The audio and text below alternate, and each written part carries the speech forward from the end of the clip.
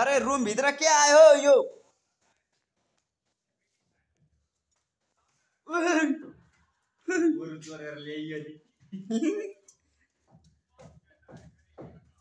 ऊ शङ्कर भगनी शङ्कर भगवानले पास गरेछ हाम्रो रुममा।